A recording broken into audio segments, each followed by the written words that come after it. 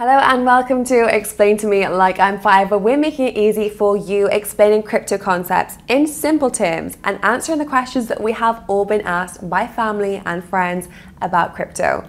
On today's episode, we'll be explaining everything about blockchain with the help of Scott W. Stornetta, known as one of the creators of blockchain technology.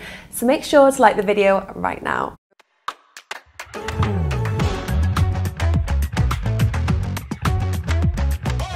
Well, I'm your host, Jessica Walker, and Scott, thank you so much for joining me. I want to jump straight in and ask you how you would define blockchain to your youngest grandchildren. I know they range in ages, so we'll start with the five year old grandchild. Sure. And of course, it is a little bit of a challenge, but it's a great opportunity to think deeply about what's really going on and find an appropriate analogy. If I can, I want you to I want to show you a um, a letter that my granddaughter and I wrote in order to demonstrate the blockchain. Yes, please do. And I don't know if anybody can read it. Yes, do you want me to narrate it? Are you able to read it? Yes, it says, Grandpa, can we record Let It Go on YouTube next Friday at 5 p.m. Chrissy? Right. So, this uh, keyboard in the background, um, my granddaughter, we like to uh, she sings and I play the keyboard. Okay. So here's how I would explain it to her. Let me tell you what blockchain is. Blockchain is about making sure that a record is really the original copy. And so we're going to take this letter that we wrote and I'm going to tear it right down the middle. Okay? I'm going to give you one copy of it and I'll take the other. Now, suppose someone wants to know whether what we both hold is the original, okay? How will they tell the real letter from a fake letter? And what you typically can elicit from the child is because of the random way you did the tear, only the two original copies will line up perfectly. Okay? And that's the same idea that the blockchain has. By distributing records, but putting a kind of digital tear into them, you can make sure that everybody's holding a copy of the real thing. And that's really interesting because it's unique then, like a fingerprint as well. So now when we go on to transactions and records of transactions, there's a one analogy that I quite like to use, which is the difference between a Microsoft Word document that one person owns and then a blockchain ledger as a almost a Google document where you can see in real time what's been updated and by who. How would you explain how you can look up transactions on the blockchain? Well, I think the key is to emphasize the distinction between that and how it works with a bank or an ATM machine. And what I mean by that is, I think your average neighbor understands that anything they do with their bank or an ATM is all handled electronically back and forth. Digital bits of information are being sent back and forth. But the key distinction is that in the case of a regular bank transaction, there must be an intermediary, someone that has a privileged position. Okay and someone that must be trusted. And in, and in the case of the example I've given, it's the bank.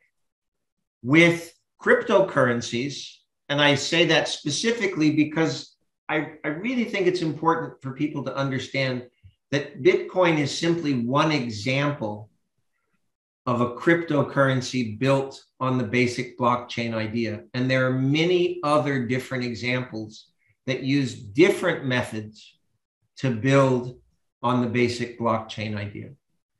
Um, but in all of those cases, okay, there is no trusted intermediary. The system enforces a kind of self trust so that every holder of every pair of people can essentially function as um, part of a network that doesn't require a bank or trusted third party in order to function. And just to build on that, then, so I have made it my mission to explain to my mother the concept of blockchain and cryptocurrencies. What I would actually like to do now is give you the concept and analogy that I give to my mother when it comes to blockchains being traceable uh, and get you to review, evaluate, add anything if needs be. What I normally start with is getting her to imagine a bank vault, and there are hundreds upon thousands of piggy banks that are all stacked on top of each other. And each piggy bank is completely transparent, the walls, the doors, you can see entirely what's inside. But not only that, everyone can also access the room. So the room which has all of these piggy banks in has security cameras, that anyone can view, and every second of recorded footage is also available online forever. And each person get, can get into their piggy bank using a specific key. So first, if we're going to use the transaction example of from me to you, you tell me which piggy bank is yours. I then walk into that room with a mask on. Anyone in the world can see me and they can see on the security cameras that I've entered the room and at what time, but they can't see my face. And then I can unlock the piggy bank, take some coins out and put them in your locked piggy bank and I'll leave the room. So everyone in the world knows your piggy bank has the coins in that were previously in my piggy bank. What's your take on that analogy? Is there anything you would add or that you would correct? Well, I guess the first thing that I have in response to that um, really wonderful description is Are you available for hire? Because use you. I very much like your idea about the piggy bank and the vault. I think if I were to tweak it just a little bit, here's what I'd say. Imagine that you had a vault, just like a regular vault at a bank. But the wall, but two things are different. One, the walls of the vault are glass. They're completely transparent. And second, Everyone that has a piggy bank in that vault is stationed around the vault, all around the perimeter of it. And they're constantly looking at the vault to make sure that nobody can do anything that everyone in the community isn't aware of. The mask idea is a little bit trickier. If you haven't disclosed your identif- your relationship between Samuel Clemens and Mark Twain, then it's like the Mass.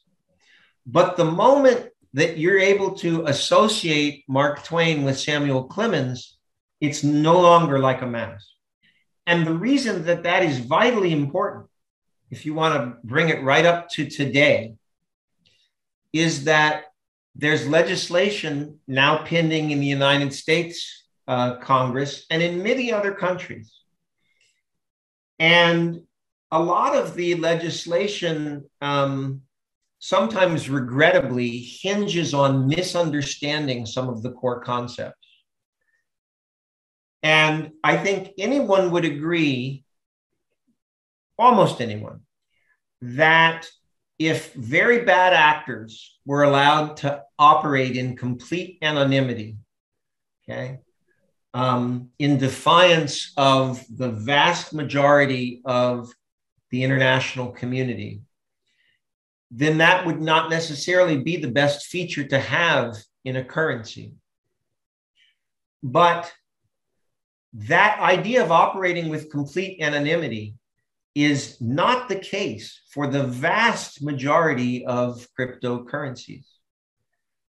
And so it's important that people get the mask part of the concept a little more precise lest they be led to try to solve a problem by starting with the wrong diagnosis. So, if I do turn then and ask you the question of is blockchain anonymous and ask you to explain that to your grandchildren, what would the answer be? Well, you can wear a kind of disguise. Okay. But the disguise is unique to you. That's what I would say. So now if we look theoretically at the grandchildren that you've been explaining blockchain technology to, how would you paint the picture then 20 years from now, they're 25 years old, when it comes to blockchain being used in society, it being integrated in our day to day lives, what picture would that look like and how would you describe it? Uh, well, the answer I'm going to give you is not the one you want. Okay. And let me tell you why. Okay. There's an old saying that goes something like this um, If you try to ask a fish what water is, it's very hard to describe because they're just living in it. Okay. It's something that they just take for granted. It's simply part of the background. And quite frankly, as others have said before, the day that you realize that a technology is truly successful is when it becomes invisible and people just take it for granted. They take treat it like the air or the water. It's just there and it works. So my picture that I paint is gent is truly blockchain simply becoming invisible. Fantastic. Well, Scott, thank you so much for joining me and thank you all so much for watching. I'm Jessica Walker and now I want to pass the challenge on to you all that are watching at home. It is now in your hands to get more people to understand crypto, blockchain and all of its potential. Make sure to share this video with a friend or with a family member. And if you do have any more questions about crypto, you can ask Alex on CoinMarketCap. It's in the link below.